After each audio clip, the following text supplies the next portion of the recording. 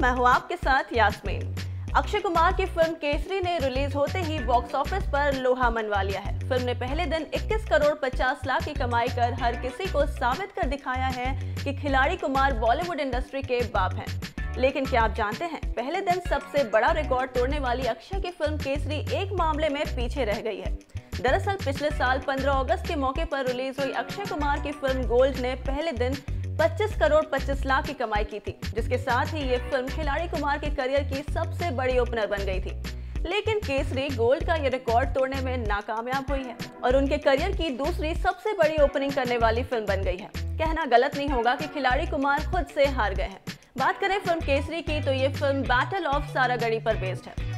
बता दें कि साल अठारह में जब 10,000 अफगानियों ने धावा बोल दिया था तो ब्रिटिश इंडियन आर्मी के 21 जवानों ने डट कर इनका सामना किया था।